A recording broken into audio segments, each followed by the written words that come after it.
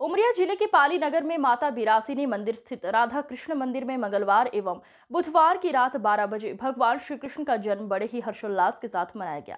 सुबह से ही भक्तों का तांता मंदिर में लगा रहा। दिन भर भजन कीर्तन करते भक्त रात्रि 12 बजे का इंतज़ार करते हुए नाचते गाते रहे। माँ बिरासिनी रामायण संचालन समिति के द्वारा छोटे छोटे बच्चों का सांस्कृतिक कार्यक्रम का आयोजन भी कराया गया, जहाँ पर नन्हे मुन्ने राधा कृष्ण की आकृति के लिए बच्चों ने नृत्य प्रस्तुत किया।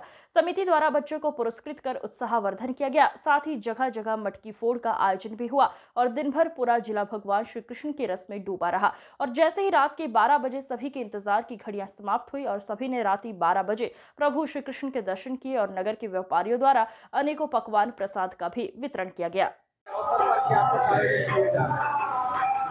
और हम नाच है, गाना है, कीर्तन है, भजन है, और सवेरे से लेकर के पाँच तक बहुत भीड़ रहती है। और बड़े धूमधाम से भगवान श्री कृष्ण का पूजा अर्चना किया जाता है। उसके बाद में पूजा पाठ करने के बाद में जन्म मनाया जाता है और सवेरे से 12 बजे तक अटूट भीड़ रहती है। विरासनी मंदिर में भी उत्सव मनाया जाता है।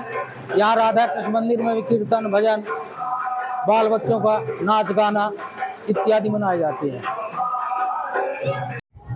आज माँ विरासनी मंदिर के प्रांगण में राधा कृष्ण मंदिर में भगवान का जन्म मनाया जा रहा है।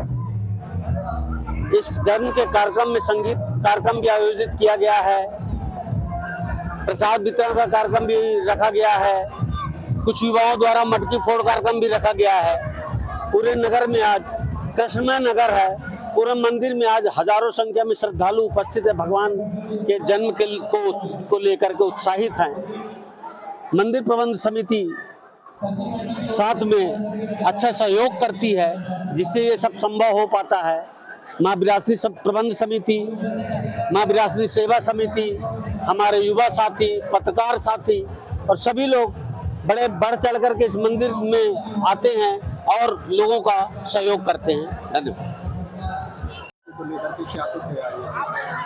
आज माँ विरासनी की पवित्र नगरी पाली में भगवान श्री कृष्ण का जन्मोत्सव मनाया जा रहा है। आ, जैसा कि आप देखेंगे यहाँ के नगरवासियों में काफ़ी उत्साह है।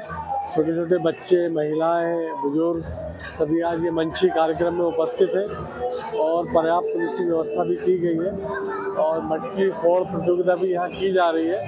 इन सब के लिए पर्याप्त व्यवस्था है और ये सब देख के बहुत आनंद अच्छा भी हमको भी अच्छा लग रहा है। इस धार्मिक नगरी में इतना अच्छा कार्यक्रम हो रहा है। विरासती मंदिर, एक भव्य मंदिर है। यहाँ हर साल की भांति इस साल भी बहुत अच्छे से यहाँ कृष्ण जन्माष्टमी का पर्व मनाया गया, जो कि बहुत ही भव्य तरीके से मनाया जाता है और विशाल भंडारे का आयोजन भी किया जाता है। मतलब यहाँ का वर्णन करना ही मुश्किल है। यहाँ सांस्कृतिक कार्यक्रम और भंडारे का कार्यक्रम, कृष्ण जन्मोत्सव और बहुत सारे कार्यक्रम हुए, जिसका